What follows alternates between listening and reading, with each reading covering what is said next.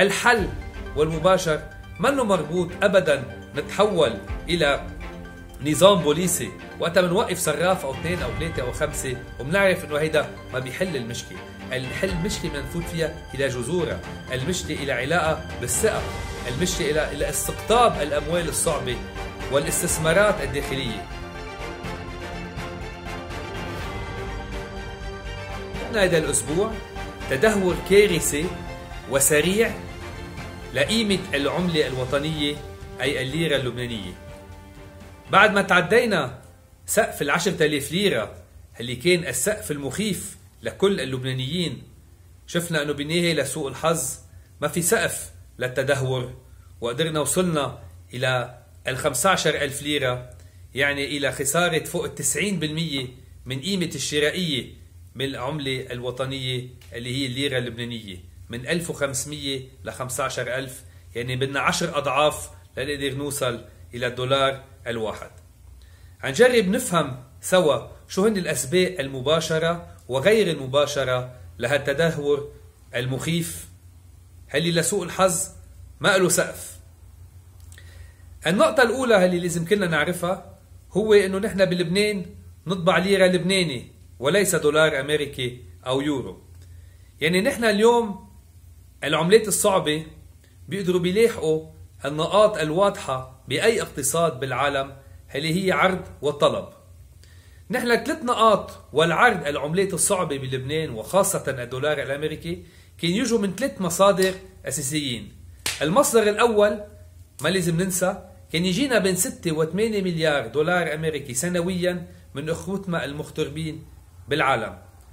وهالتحويل وقف نهائيا؟ أو على كل حال وقف من خط المصارف أو من خط الرسمي. هذا يعني خسرنا فوق ال 6 إلى 8 مليار سنويا من عملات الصعبة اللي كانوا يدخلوا السوق والاقتصاد اللبناني.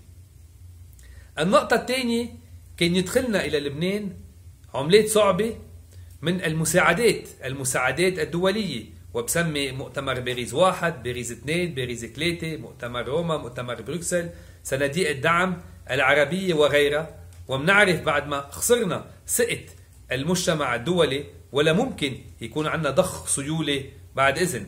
ممكن يكون عندنا مساعدات إنسانية لكن بنعرف أنه تحولنا من مؤتمرات استثمارية ومؤتمرات اقتصادية إلى مؤتمرات اجتماعية ومؤتمرات إنسانية إلى لبنان.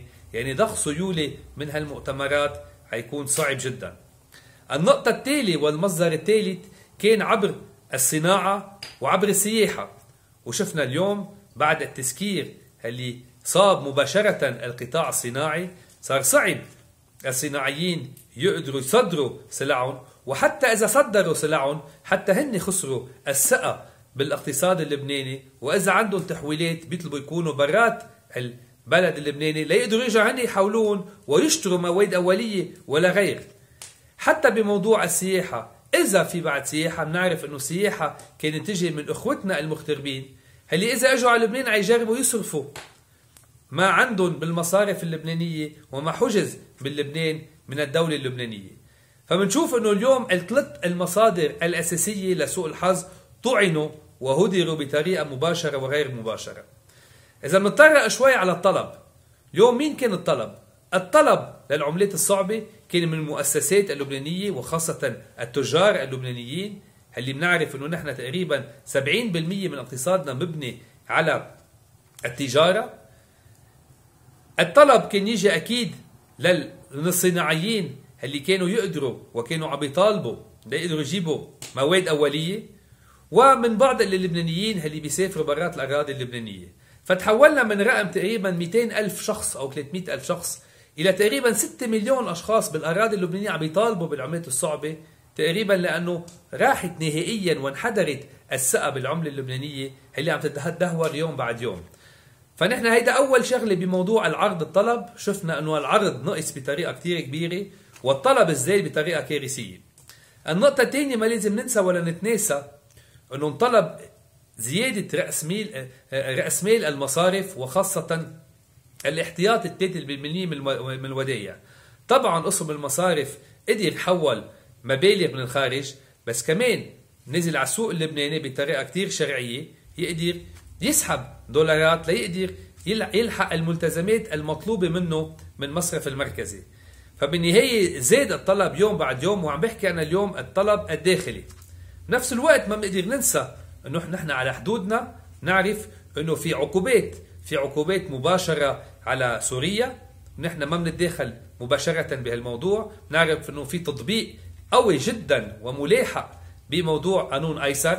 فبنعرف إنه إخوتنا بسوريا ممكن يجوا وعم يجوا أكيد يقدروا يسحبوا قسم من العملات الصعبة ليقدر كمان هن يتعايشوا بأزمتهم بنفس الطريقة.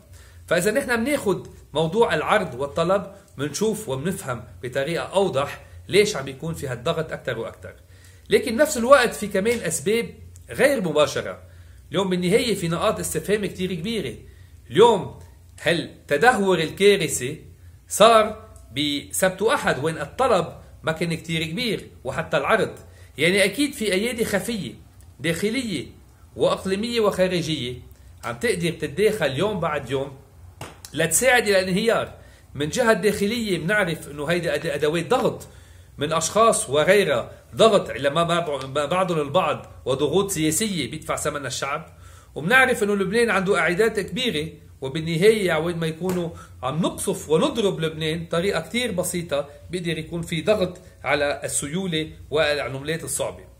والنقطة الثالثة البسيطة جدا نحن بنعرف إنه كلنا مرتبطين بالتواصل الاجتماعي وبجروبات واتساب وغيرها. يوم أي شخص اليوم بيقدر ينزل على جروبات كبيرة وبيقول إنه أنا اشتريت ب 15000 وب 20 وابليكين وبنقدر نروح أكثر وأكثر بهالأخبار نعرف إنه عم بيقدروا وخاصة سوق السوداء ما له أي حدود. أنا حابب أقول على صوت عالي الحل والمباشر منه مربوط ابدا نتحول إلى نظام بوليسي وقتها بنوقف صراف أو اثنين أو ثلاثة أو خمسة وبنعرف إنه هيدا ما بيحل المشكلة، الحل المشكلة بدنا نفوت فيها إلى جذورها، المشكلة إلى علاقة بالثقة، المشكلة إلى إلى استقطاب الأموال الصعبة والاستثمارات الداخلية، فبترجيكم خلينا نروح إلى صلب الموضوع مباشرة. اليوم إذا نزل الدولار بعد أيام لأنه صار في ضخ سيولة بعد أكثر عود ما نكون عم ندعم السلع الأساسية للبنان حبينا ندعم الدولار اللي إلى إلى الدولار إلى العملات الصعبة. بس بنعرف إنه بالنهاية عم نحكي بأيام وأسابيع بس هيدا الموضوع ما بيقدر يبنينا الاقتصاد الحقيقي. نحن اليوم برجع بذكر نطبع ليره لبناني وكل ما زدنا الكتلة النقدية اللبنانية كل ما عم ننزل قيمتها أكثر وأكثر وكل ما نقصت الكتلة النقدية بالعملات الصعبة كل ما لسوق الحظ عم يروح بتدهور أكثر وأكثر نحن الحلول بالجذور يعني بدنا سلطة تنفيذية اليوم قبل بكرة بدنا سلطة تنفيذية ما تكون مجمدة لنفس الأسباب اللي جمدوا تشكيلها لكن سلطة تنفيذية تقدر تروح بأول نقطة تفاوض الدائنين إلى لبنان الداخليين والخارجيين. سلطة تنفيذية تروح تفاوض إلى مشروع إصلاحات مع صندوق النقد الدولي. سلطة تنفيذية تقدر تبني الاستثمارات وتعيد الثقة هذا اللي بده يعيد قيمة العملة الوطنية ويظهرنا من الكارثة الاقتصادية الاجتماعية والنقدية وشكرا.